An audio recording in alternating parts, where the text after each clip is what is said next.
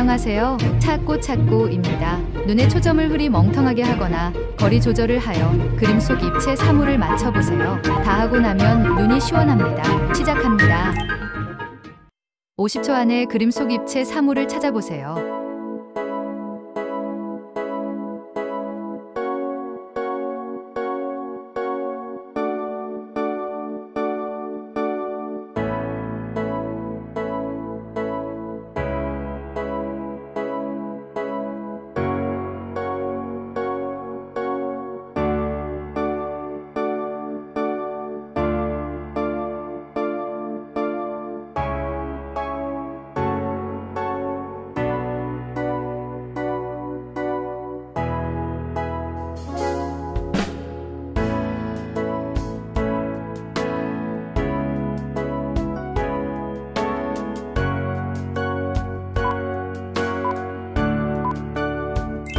정답은 댓글로 남겨주세요. 구독과 좋아요는 영상 제작에 큰 힘이 됩니다. 감사합니다.